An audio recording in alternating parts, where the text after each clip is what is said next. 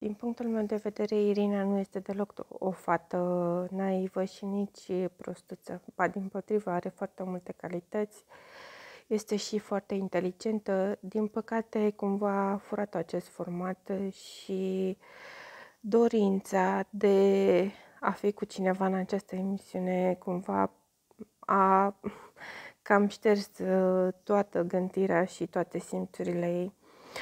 Ea a simțit bine atunci când a simțit uh, și a vorbit uh, despre faptul că nu va putea fi niciodată cu Alex într-o relație adevărată, mă refer.